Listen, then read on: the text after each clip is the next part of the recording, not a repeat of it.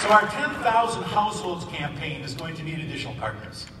We're going to leverage our city programs with other financial support to keep families in their homes and to create new homes.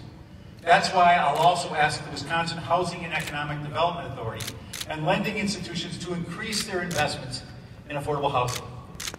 And we'll need the commitment of the federal government as well. As Matthew Desmond points out in his powerful book, Evicted, federal housing vouchers are the best way to provide decent housing to very low income families. And they deserve good housing as well. That's why Washington needs to pay, play its part by recognizing the importance of quality housing to families, neighborhoods, and the entire city. Our own housing authority is continuing the transformation of West Lawn from an outdated public housing development into West Lawn Gardens, a sustainable mixed income neighborhood.